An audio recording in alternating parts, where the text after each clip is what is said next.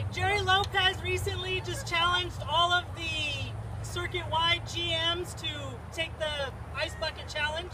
Uh, we are joining our general manager as an entire leadership team, and AMC will be donating $50 for every video that's submitted for up to $10,000 to the ALS Foundation.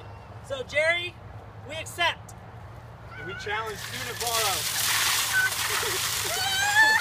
Uh, there you go.